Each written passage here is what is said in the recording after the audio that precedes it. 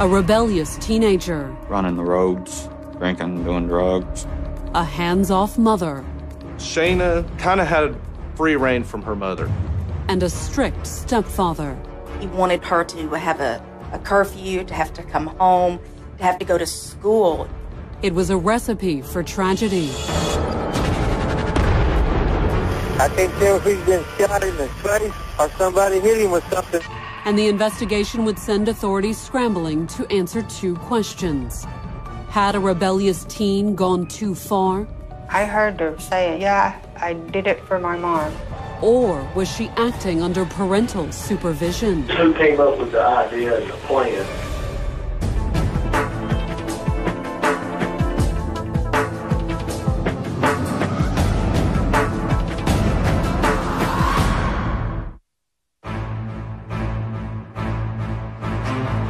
Cushing, Texas, October 23, 2005. It was a little after 7 a.m. when the phone rang at Francis and David Bone's house. The caller was their son James's wife, Marcia Kelly, and she needed a favor. James wasn't answering his phone. Marcia uh, called wanting someone to go wake him up because she couldn't get him awake. Marcia was wrapping up her night shift at Lufkin Memorial Hospital. And her truck driver husband, Marcia explained, needed to get an early start on some repairs to his rig. He wanted me to call him at 7 and wake him up uh, so he could work, finish what he was doing to the trucks. David Bone went next door to wake up James. His home was only about 75 or 100 yards away. But James didn't answer the older man's knock. He called Marcia and told her James didn't wake up. And she said, no, he's got to get up. You've got to get him up. So David returned next door. Only this time, he didn't just knock, he went inside. That's when he found James lying in bed. James was eerily still, with a quilt pulled up over his head. He kept calling James and couldn't wake James up. Took his walking stick and poked him on the foot, and he didn't move or anything. So he pulled the quilt back.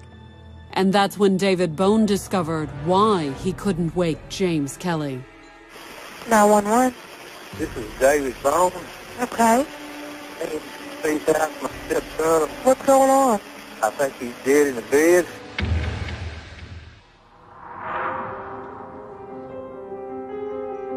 Marcia was only 21 when she met James Kelly. But she'd already been married, divorced, and a mother. I got married the first time at 17. When I met James, I had two children, uh, Shayna and Caitlin. She also had a bit of a reputation, a holdover from her years as a rebellious teen. I quit school in the ninth grade, dabble into marijuana a little bit. She got into, you know, different trouble hanging around with, you know, different people, you know, that she shouldn't have been hanging around with. In fact, that's how she met James in 1992. James and Marcia met, I guess you'd call it, with the crowds that run around. They do a lot of street racing during that time, and that's actually how they met. Two years younger than Marcia, James was a classic good old boy. All he wanted to do was go out and have a good time, and it consisted of something that went fast or made lots of noise. And Marcia seemed like the perfect girl for him. He loved the fact that she liked to play. You know, and the, the four-wheel drive trucks, you know, they had a lot in common on that. James and Marcia dated off and on over the next few years. Marcia had a third daughter with another boyfriend, and James had two sons with another woman. Then, two events changed James and Marcia's lives. In 1995, a probation violation put James behind bars. During the time he was in prison, Marcia and James would, you know, cor correspond back and forth. After he got out, he started actually trying to do better. Meanwhile, Marcia was dealing with a tragedy of her own. Her mother and her daughter Caitlin died in a house fire. And the disaster almost claimed the life of her eldest daughter as well. Shayna attempted to ride her bicycle out in front of an 18-wheeler to go be with her grandma and her sister. The suicide attempt earned six-year-old Shayna a brief stay in a mental hospital. From that age on, Shayna was a child that pushed people away. The incident was also a wake-up call for Marcia. She had went back to school. She became a respiratory therapist. Released from prison, James had saved enough money to buy a truck and went into business for himself. He had really seemed to straighten his life out. He was a hardworking individual. And before long, James and Marcia were dating again and trying to build a better life together. Marcia and her daughters moved in with James and his sons, living next door to his mother. I have eight acres, and my mother-in-law had a house. I had a trailer. James had a double wide. And in 2003, more than a decade after their first date, the couple married. She wanted to go just in front of the Justice of the Peace. And James told her no, he would get married in a church. And they did. They got married in a church. And he was happy. He really was. At that day, eh, you would have thought he owned the world. James didn't own the world, but he did own two more trucks. By the wedding, what had started as a one-man operation had grown into a small firm. If you have three trucks and you're working every day, you can make pretty good money. Marcia was making good money too, investing some of her hospital salary in a side business. I had bought some bounce houses and started a part-time rental business that I would do on the weekend. And I continued also to do my work as a therapist and the paperwork for the trucking company. So, I mean, we, we both stayed really busy.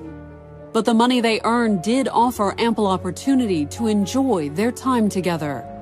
We like to go to um, a place called Shiloh Ridge. It was a four by four mud park. They would go down there and play in the mud, and from the time he's a little bitty, he loved to play in mud. If there was a mud puddle, he's going to step in. But James and Marcia also had another hobby, fighting. You know, James always thought he was right, and Marcia always thought she was right. Somebody's got to be wrong. Can't be two rights. And, you know, they bickered and argued. There were some times when me and James were arguing or fighting, or mostly we'd been drinking. But after every argument, Marcia and James found a way to make up. He loved her, and he was just kind of there to do whatever she wanted to do. She wanted a car. He bought her a 68 Camaro. She wanted a four-wheeler. He bought a four-wheeler. By 2005, the blue-collar couple was moving into the middle class.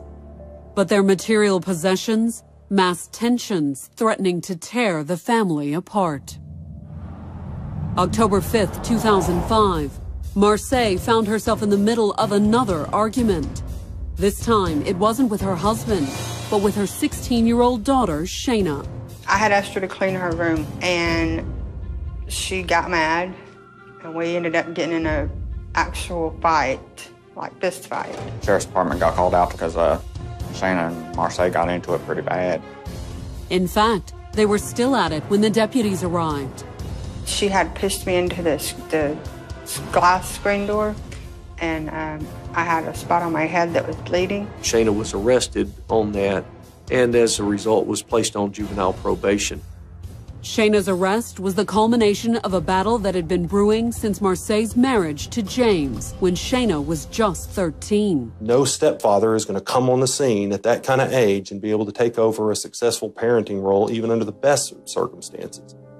Shayna's circumstances were far from best. Not only had she been struggling with the trauma of her grandmother and sister's untimely deaths, she'd inherited all her mother's teenage rebelliousness. Shayna was pretty wild, uh, running the roads, uh, drinking, doing drugs. She was a troubled child. She had been spinning out of control for a while. Not that her mother had tried to control her. Marcia really allowed Shana a lot of privileges that uh, most children would not be accustomed to and probably should not be allowed. I felt like if I gave them what they wanted or let them do what they wanted, it was kind of to make up for me not being there. Shayna had begun skipping school on a regular basis. And much like her mother before her, she'd fallen in with a tough crowd. Shayna was hanging out with people who had been involved in the juvenile system as well as the adult criminal justice system. It was a world her stepfather knew well, a world he'd been determined to keep his stepdaughter away from. James was always trying to correct Shayna. Um, more or less be a father figure to her. She didn't want that. And she would tell him, You're not my father. The friction between James and Shana had led to arguments between James and Marcia. We had different ways of uh, raising the kids. Uh, that was most of our arguments and fights. Anytime I would be around, it was a problem. It's like he developed an attitude anytime I came around, and you could feel when somebody doesn't want you around. So Shana made an effort not to be around at all. I felt like that I was the cause of their problems. So when I got old enough and I got a boyfriend, I moved out. It seems like their relationship was better when I was gone. She did move out with her boyfriend. She was almost 15, but she was still 14. Marcia had done little, if anything, to stop her. For Marcia to have allowed her 14 year old daughter at that time to move out of the residence and go live with a boyfriend just kind of shows that it was a relationship that she and her mother shared that would not be typical. A few weeks later, Shana was back home. And by 2005, James's tougher parenting approach appeared to be rubbing off on Marcia. When Shana moved out again at 16, Marcia had taken action. So I went and got her things and made her move home. Within days, mother and daughter had come to blows. If James and Marcia hoped the arrest would turn Shana around, they were sadly mistaken.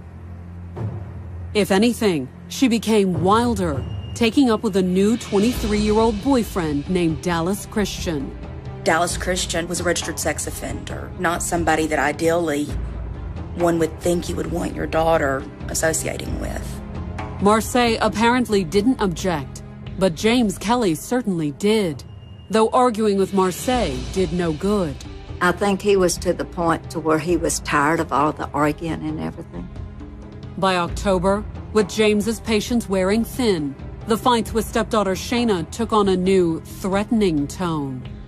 She'd tell him, I'm going to kill you one of these days. Saturday, October 22, 2005 was technically a day off for James Kelly. But there was little downtime for a small businessman with a fleet of hard-working trucks. He was doing some uh, maintenance repairs on them, brakes and oil changes and stuff.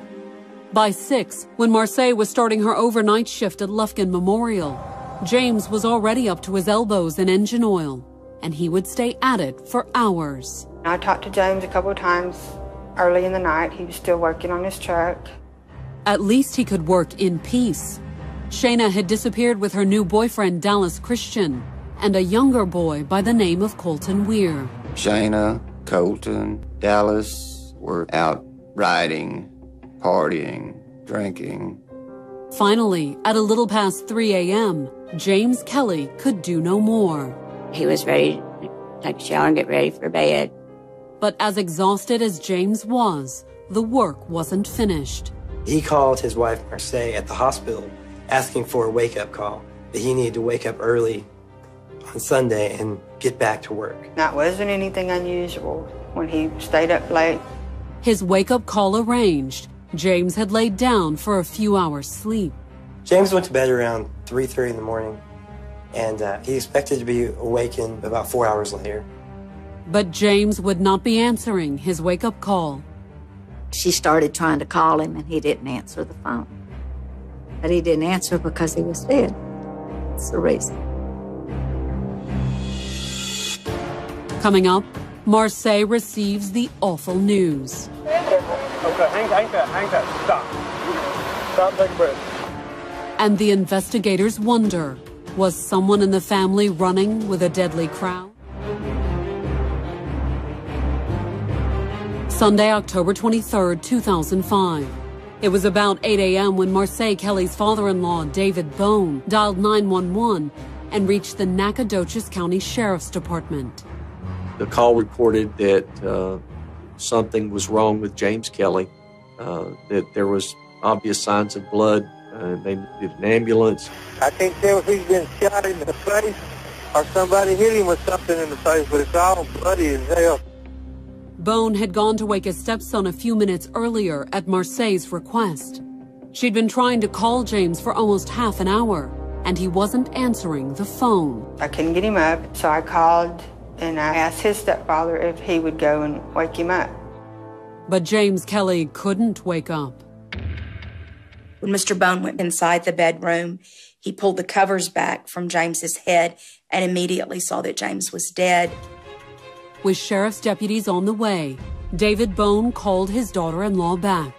My husband called Marcia Dade and uh, told her that she needed to come home, that something bad had been happened. He said he's got some blood on his mouth. Um, he said I called the ambulance. I said, okay, I'm leaving work. Although she was apparently too shaken by the news to drive. I called James's best friend and I told him something was wrong with James and I wanted to know if he could drive me out there. I jump in the car and we're making a mad dash for James and Marcia's house. While Marcia and Kevin Dill sped toward the Kellys' house, deputies were arriving on the scene. They found James's mother, stepfather, and a growing number of neighbors gathered in the yard. It doesn't take uh, word long to spread in a small community, so other people uh, that knew the, the Kelly family also began arriving. They had little information to offer the investigators, however. Everyone present was upset. They, they knew that something tragic and terrible had happened to James. Uh, they weren't exactly sure at that point what had happened. When the deputies went inside, they found James exactly as David Bone had described in his 911 call. It was dark. He was laying in the bed, had the covers up to him. In his call, David Bone had been unsure whether his stepson had been beaten or shot. For law enforcement officers, there was no mistaking the grisly wound that had left James Kelly covered in blood. Kelly had been shot in the face. We had a homicide on our hands. Was it an intruder? To police, nothing seemed out of the ordinary. It did not appear that anything else had really been disturbed. But lying on the floor near James's bed, the deputies did find one puzzling clue. There was a telephone, a cellular phone laying in the bedroom uh, on the floor that uh, was still open, still in a call type state. Had James been shot in his sleep? Or had he been trying to make a call when the killer struck? While the officers pondered the mystery, Marcia and James's friend Kevin picked up an impromptu police escort as they sped to the scene.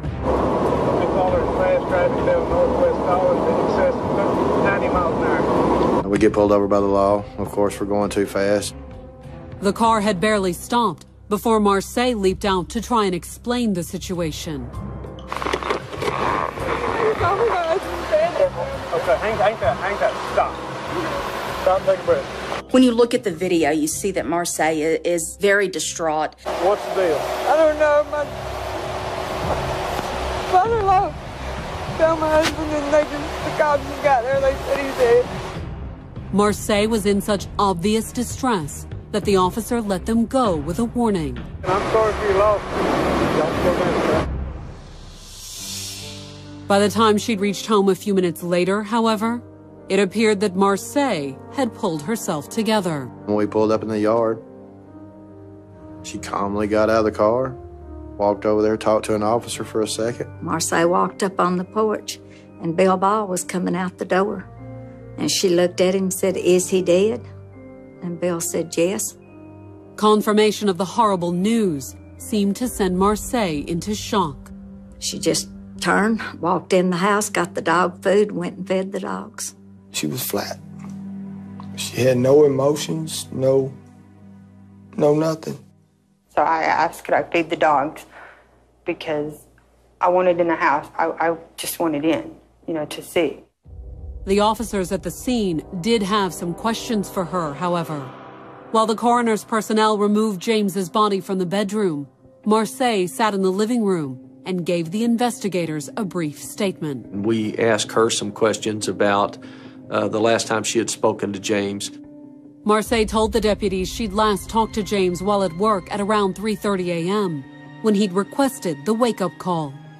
And then they asked me, do you know anybody that wanted him dead? I said no.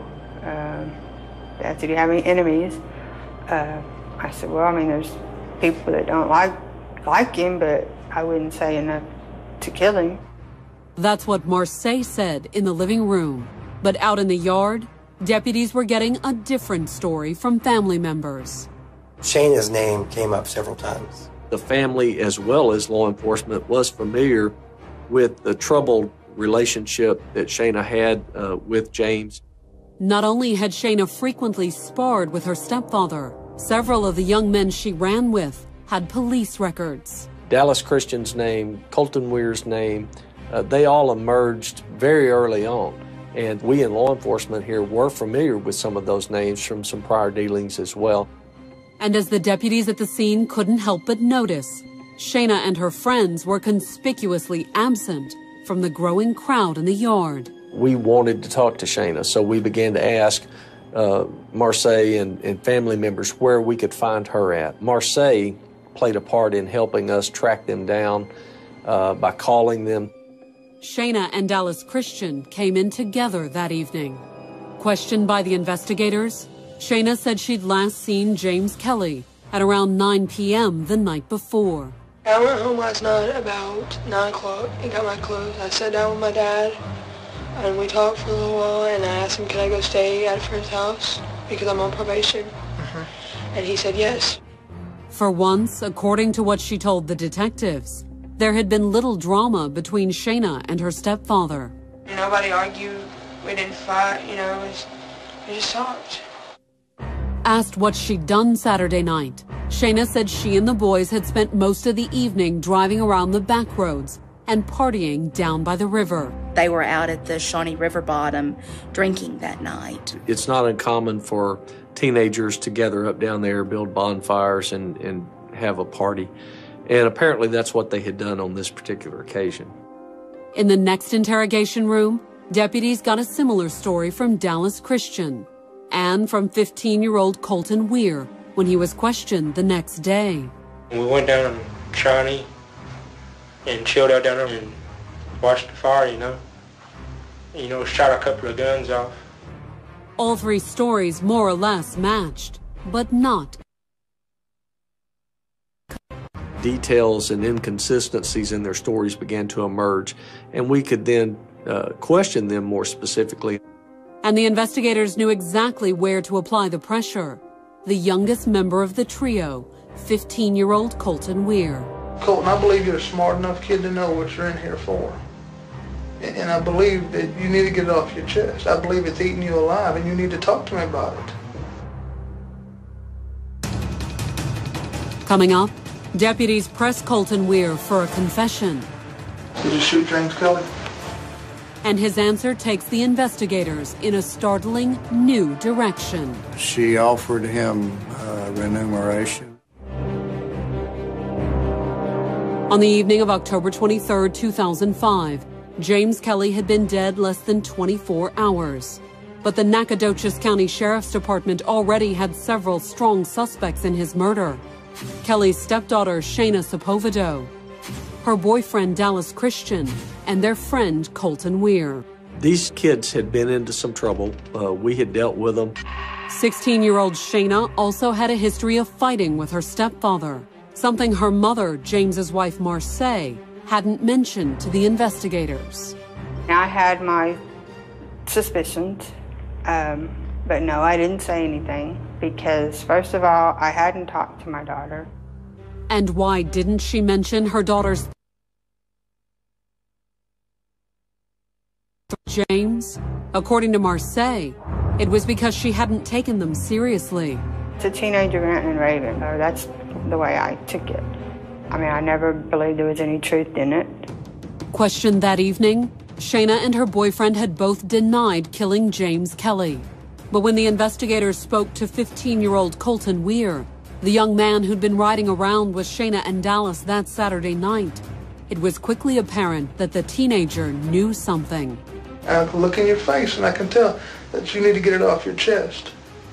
I mean, it, it's eating you alive. I can see it in your face. By the time we were able to more or less confront him, Colton had had a little bit of time to reflect on the gravity of what he had done. Investigators were quick to capitalize on Colton's guilty conscience.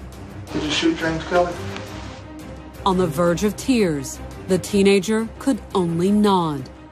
Colton Weir confessed to them that he had been the person that pulled the trigger. After you shot, what did you do? Ran as fast as I could because I was scared.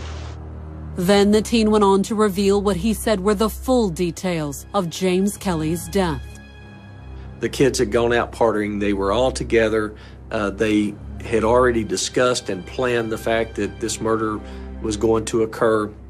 And they were just kind of looking for the right opportunity. According to Colton, the opportunity had come early on the morning of October 23rd.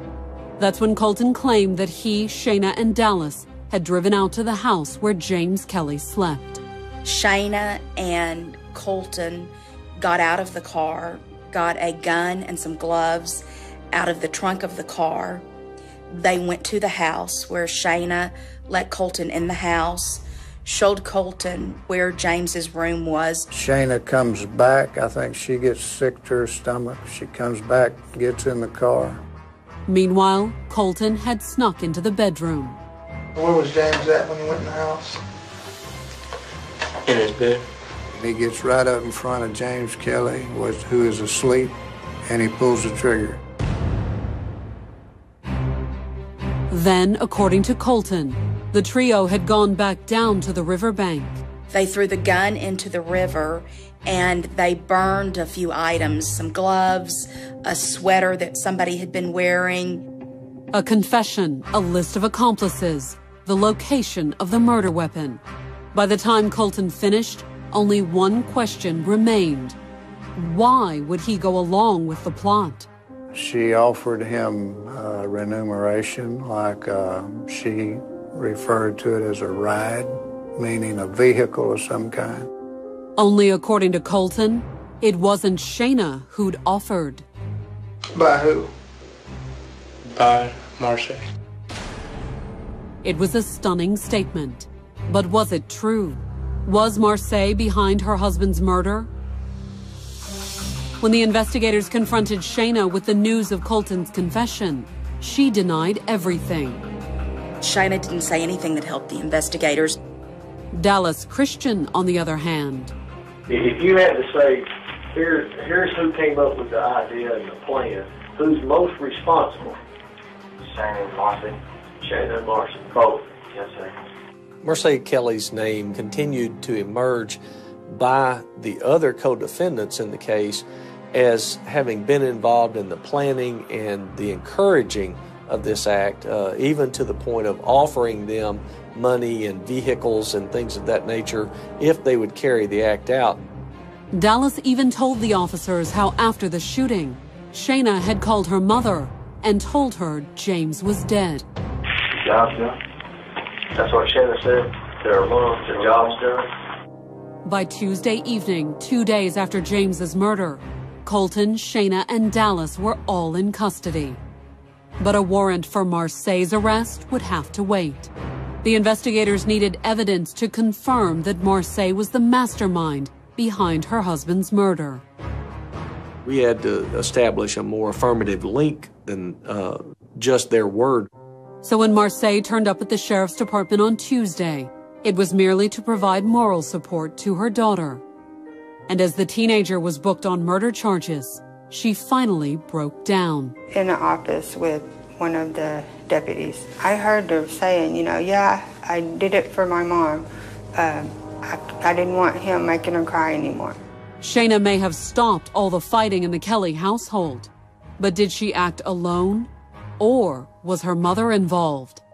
That was the question sheriff's deputies had to answer. We needed to look at her or continued to look at her as a potential suspect.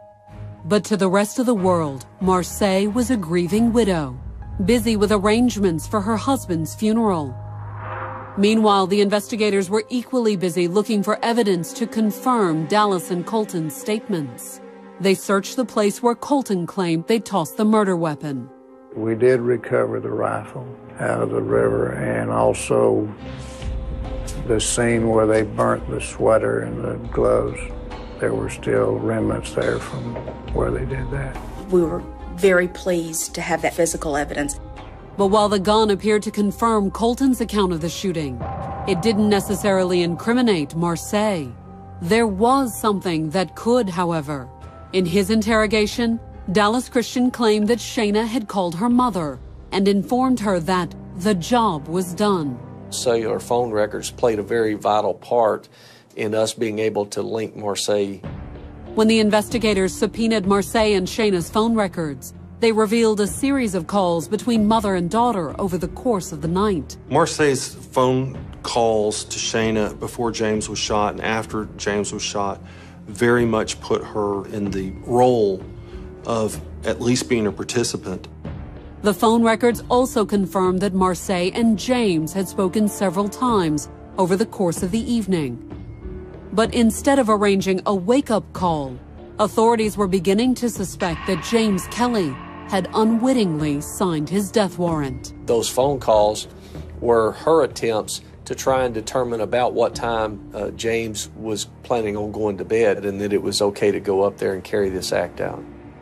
And then there was the mysterious matter of the open cell phone deputies had found lying by the bed. The last call made from that phone had been to Marcia Kelly.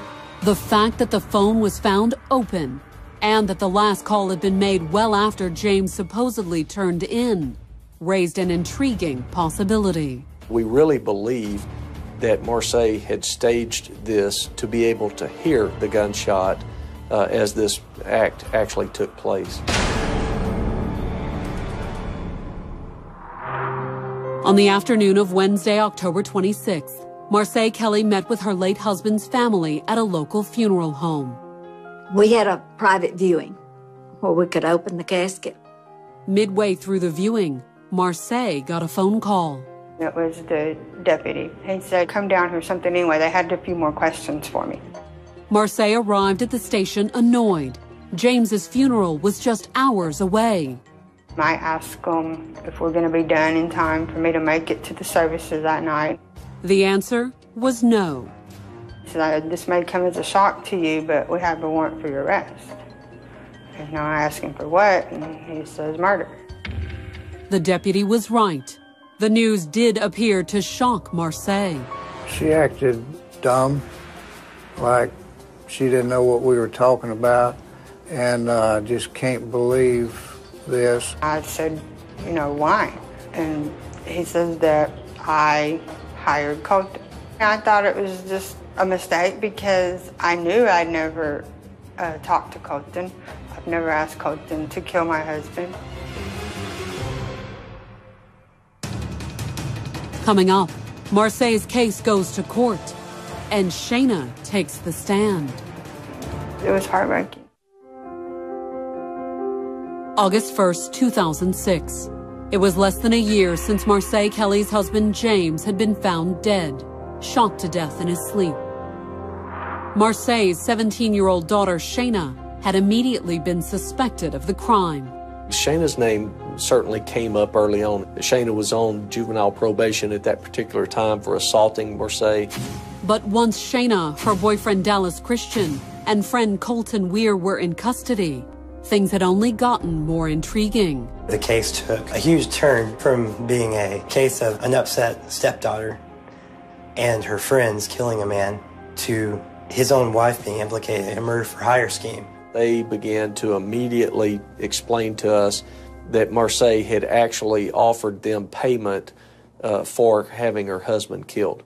And when Marcia walked into an East Texas courtroom that morning to stand trial for her husband's murder, she faced the possibility of life in prison. After a great deal of talk with James's family, I just didn't believe a jury would send Marcia to um, the death chamber for this offense. So I elected not to seek the death penalty. But why would Marcia want James dead? When she presented her opening statement that morning, prosecutor Stephanie Stevens said the motive was simple money. Not only would Marcia get the assets of James's trucking business, there was also his life insurance, money that Marcia was very keen on collecting, according to the prosecutors. The funeral home director did actually contact us and advise us that they thought it was a little strange that she had asked about collecting on those payments. And prosecutors claimed Marcia had earmarked a portion of that money to pay Colton Weir for the hit. Marcia, through Shayna, had promised him a truck in exchange, a truck and I believe some money in exchange for doing this. There was also mention of a uh, jet ski, you know, stuff that he never had, probably didn't think he'd ever would have. So he he fell for it. In its open, the defense didn't deny that Marcia had talked about killing James. But in their version, it wasn't part of any elaborate plot.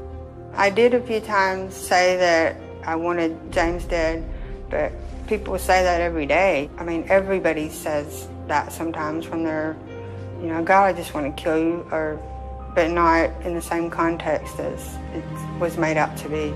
Marcia tries to minimize her involvement by saying, Oh, I thought everybody knew I didn't really mean it. Was it solicitation? Or was Marcia simply venting?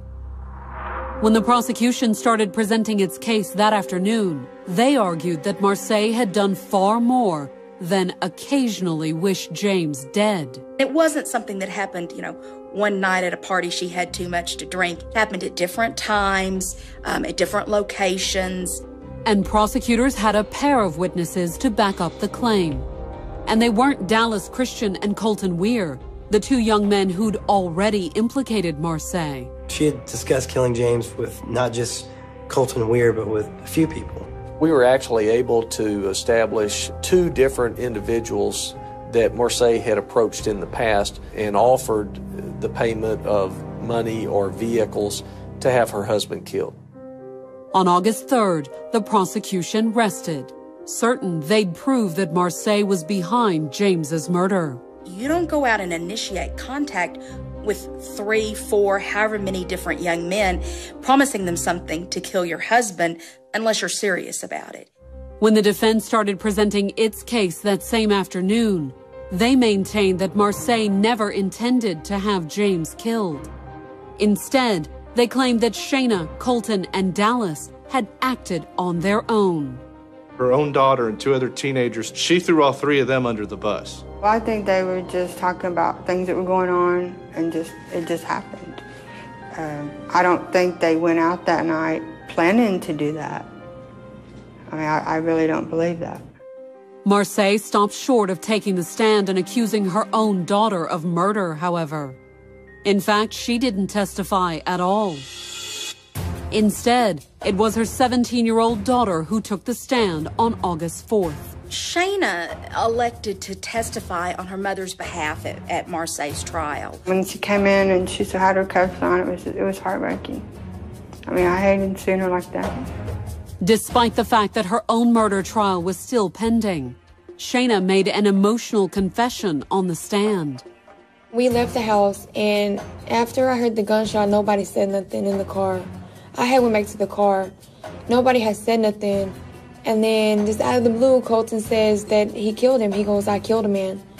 Well, I freaked out and I started screaming because I couldn't believe that it had that anything happened like that.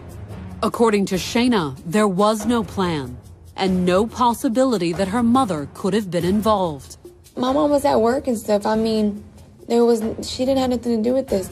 And the DA was steady saying she paid this kid, she paid this kid. She didn't. I made all fingers point to me and my friends.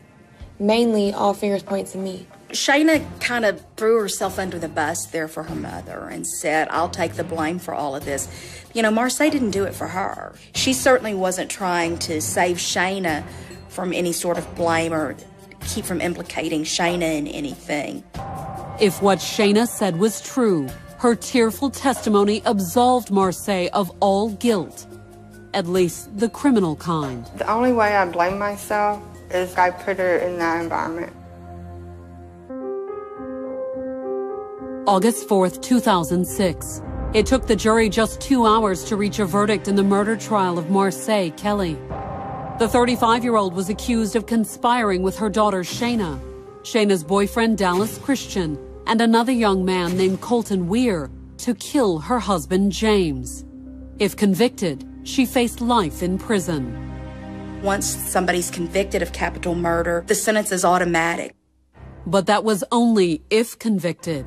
Just hours before the jury returned to consider a verdict, Marcia's daughter Shayna had made a stunning confession. On the witness stand, the teenager had taken full responsibility for her stepfather's death. I felt like my mom didn't love me because of her husband. And I felt like I had to fight for that love. She wanted her mother's approval. She wanted it so much that she was willing to kill James Kelly. And then even after killing him, she was willing to, to put herself out there to save her mom. When Shayna testified at my trial, um, it was really heartbreaking to see her up there uh, defending me. But would Shayna's courtroom confession sway the jury? The answer was no. The jury found Marcia guilty of murder. Although Marcia didn't actually pull the trigger, she definitely encouraged, aided, solicited Colton to pull the trigger. And according to the investigators and prosecutors on the case, Marcia is exactly where she belongs. She used her child. She used her child's friends and other people to get what she wanted. She's ruined more than just her husband's life. She's ruined the lives of everybody's family that was involved in this thing. Shayna disagrees. Convicted of murder in 2007 and also serving life in a prison just a few miles away from Marcia, she continues to stand by her mother. I don't think my mom should be in prison. There's no reason for her to be here. Marcia, now serving life without parole, maintains she did not murder James, but she does accept some share of the responsibility. 25%. And that's because I had, you know, we were all there. Um, as far as the, the actual murder itself, I don't feel responsible for. Well, I just hope that one day this will be straightened out. There was no capital murder. There was a murder, but there was no capital murder.